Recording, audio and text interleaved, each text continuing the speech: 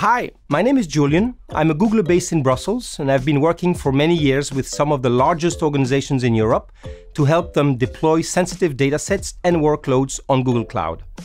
In this video, I will show you how you can use assured workloads to implement supplementary data protection measures that can help meet the requirements of the European data protection authorities. As Europeans, we know how important this is to perform a risk assessment surrounding your use of cloud services and to implement appropriate risk mitigation based on your findings. This is why Google Cloud has made it easy to implement controls using assured workloads. In the next few minutes, we'll walk through step by step how to set up a new EU Assured Workloads folder in the Google Cloud Console so that you can enforce data residency, implement personnel access controls, and manage your organization encryption keys. Are you ready? Let's get started.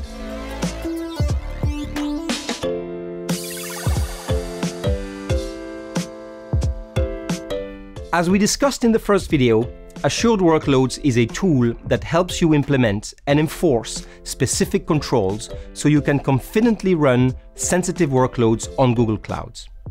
All organizations need to do is to select the regulatory framework they need to comply with, in our case, the EU, and Google Cloud will automatically deploy the necessary controls to help meet the relevant requirements. Organizations in the EU want to store and process data locally to help prevent unauthorized data transfers. They also need protection from unauthorized data access, including third-party data requests covered under legislation like the US Cloud Act. Assured Workloads for EU can support these requirements, allowing customers to create and maintain workloads with data residency at rest and in use in EU Google Cloud regions, personnel access and customer support limited to EU persons located in the EU, and cryptographic control over data access, including external key management, key access justification, and signed access approval. Let's start with a European Union data residency. Customers can specify any of the Google Cloud regions in the EU where their data will be stored and ensure that it will remain there. Assured Workloads implements a Google Cloud Platform organization policy that restricts customer data to being stored in a specific region. Customers can choose from 10 current cloud regions in Europe London, Belgium, Netherlands, Zurich, Frankfurt, Finland, Warsaw, Milan, Madrid, Paris, and more to come. Second, there is personnel data access control. These ensure that only EU personnel in an EU location are allowed to provide support to a customer. This control also restricts access to customer data to individuals who meet this requirement during the resolution of a customer-initiated support case. Third, there is cryptographic control over data access. With key access justification, Cloud External Key Manager, and signed access approval. Key access justification gives customers the ability to deny Google administrators access to their data for any reason. Even in situations typically exempted from customer control, such as outages or response to third-party data requests, such as those under the authority of the US Cloud Act. Customers are provided a clear reason why data is being decrypted, which they can use to decide whether to permit decryption and thus allow access to their data.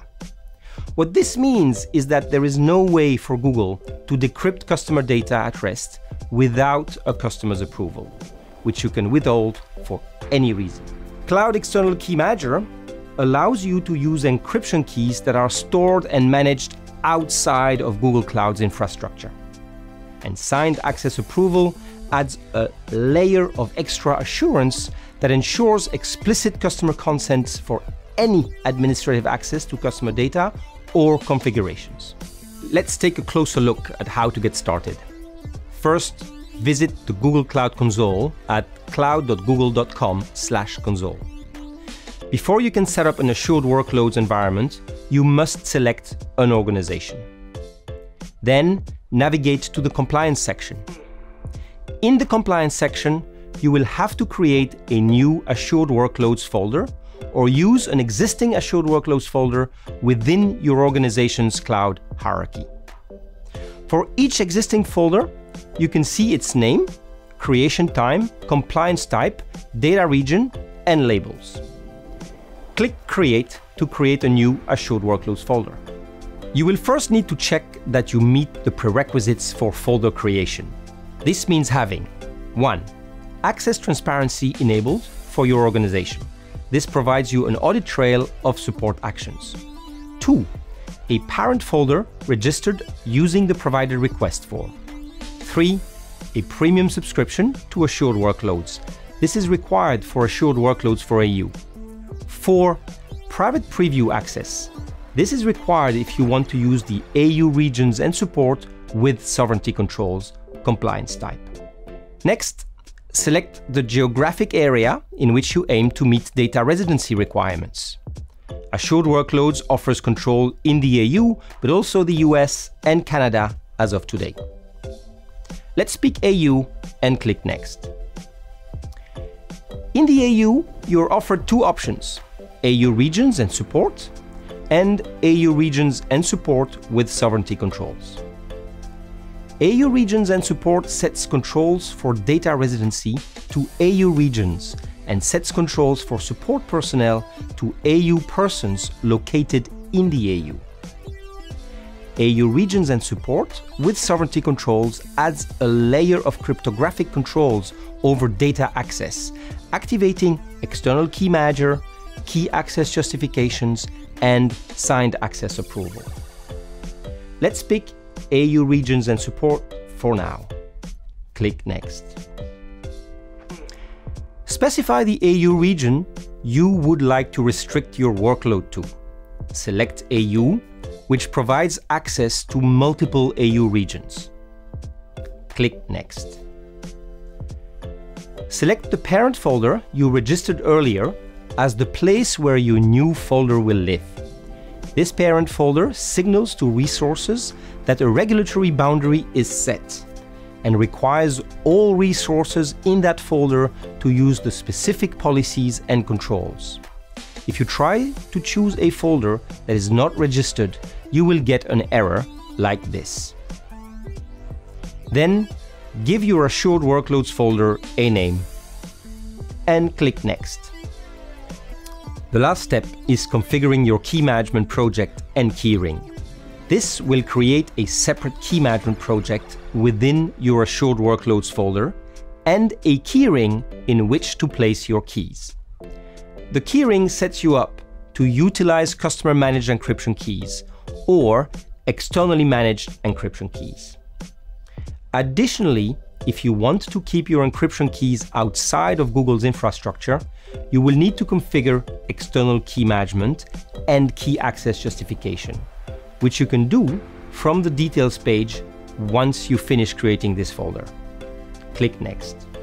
This brings you to the review section, where you can review compliance type details, folder name and location, and supported products. Click Create to create the Assured Workloads folder. Now you will see the new Assured Workloads folder in your list. From this point forward, any folder or project created inside of this folder will inherit the guardrails you specified.